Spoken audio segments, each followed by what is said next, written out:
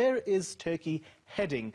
Uh, we're going to be discussing this with Dr. Murat Aslan, who is the Security Studies Lecturer at Hasan Kalyoncu University. Dr. Aslan, we've seen the Turkish forces capture a strategically important mountain today. What sort of an impact is that likely to have on the operational capability of the terrorists? Okay.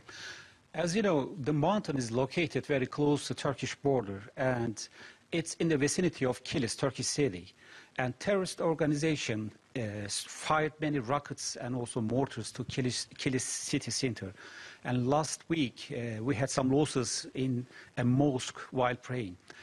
Now on, uh, as far as Turkish army captured this mountain, uh, first of all, we will stop that kind of attacks.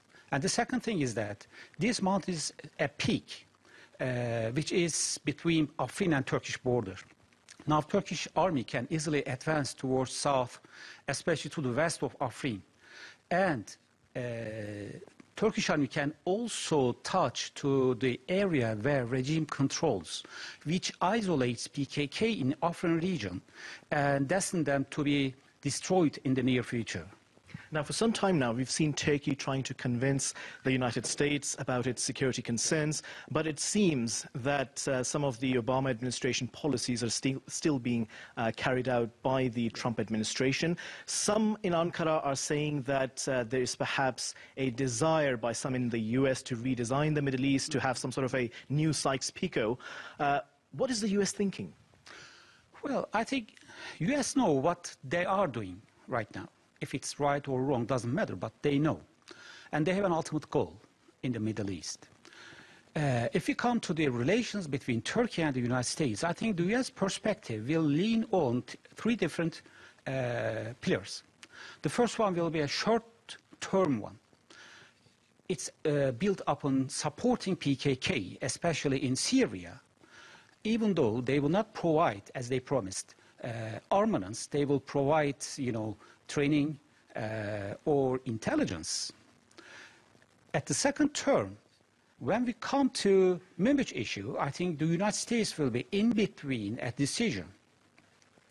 Currently, we see a great support to Turkey in the local tribes of the Syrian uh, community, which means they decided to participate to Syrian National Army that's about to be built in the near future. And the United States will evaluate the situation in terms of public's attitude, and later then will decide. And Manbij is not an exception for that, because Manbij population is very uh, unfavor of PKK's presence in Manbij.